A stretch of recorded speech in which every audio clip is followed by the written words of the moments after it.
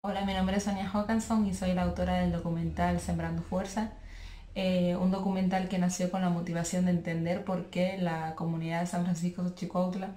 defendía su bosque hasta el punto de estar dispuesto a, morir por su defensa eh, y a dedicar más de 12 años en defenderlo.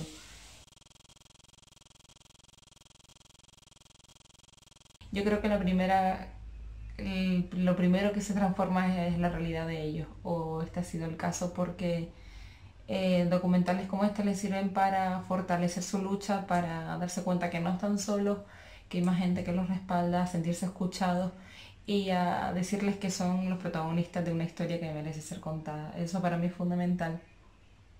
Para los que hemos estado en el rodaje y para el resto, creo que ayuda a, darles respaldo, a darles la cobertura para darle cierto blindaje